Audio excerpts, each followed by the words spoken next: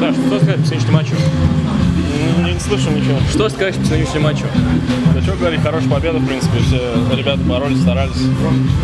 Первые два периода такая тяжкая игра была, но в третьем хорошо забили свои моменты, довели счет до ну, Сегодня это продолжение шоу, которое после матча было в Сочи, или это другая игра уже? Не, ну здесь много борьбы было совсем. Нефтехимик такая команда жесткая, много борьбы навязывает, поэтому было тяжело.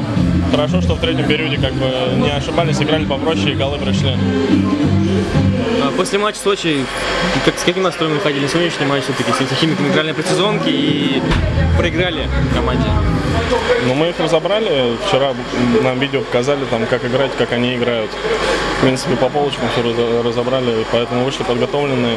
Ну, мы уже забыли про Сочи, там то, что мы там забили 11. Так что вышли на новый матч, также бороться, побеждать.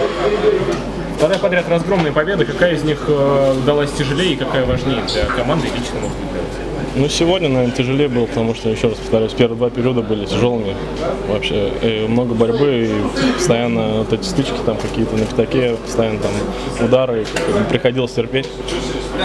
Поэтому, я считаю, сегодняшняя победа нам больше даст.